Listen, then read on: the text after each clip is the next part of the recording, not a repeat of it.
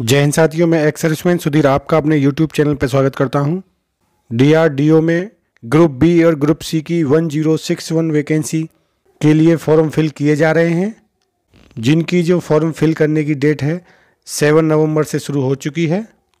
जो फॉर्म भरने की लास्ट डेट है, वो सेवन दिसंबर है। पोस्ट वाइज पे लेवल की बात करें तो pay level six pay level four और पे लेवल टू की वैकेंसियाँ नोटिफिकेशन में आप देख सकते हैं।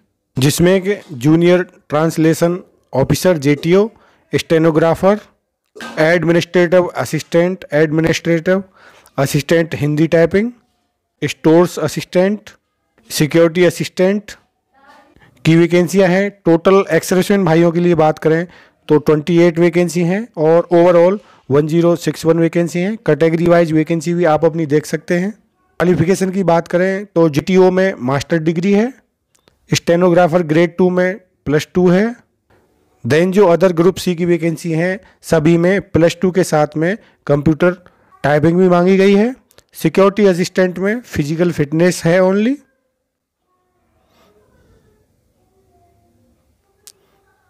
व्हीकल ड्राइविंग ऑपरेटर में आपका ड्राइविंग लाइसेंस और ड्राइविंग एक्सपीरियंस फायरमैन में भी प्लस टू के साथ में फ़िज़िकल फिटनेस चाहिए। जो अप्लीकेशन फ़ीस है हंड्रेड रुपये है S C S T P W B D और एक्सरेसमेंट भाइयों के लिए फ़ी एग्जेम्प्टेड है, यानी कि कोई भी फ़ीस नहीं देनी है। एग्जामिनेशन की बात करें पोस्ट वाइज एग्ज़ाम है बी टी वन सभी पोस्ट के लिए कंपलसरी है, बाकी अदर पोस्ट में फ़िज़िकल फिटनेस रिक्वायर्ड होगा। Expect zero three zero one post code की वैकेंसी को छोड़ करके। टायर वन एग्जामिनेशन में जो शॉर्ट लिस्टेड कैंडिडेट होंगे, वह वन इज़ टू एट के रेशियो में होंगे।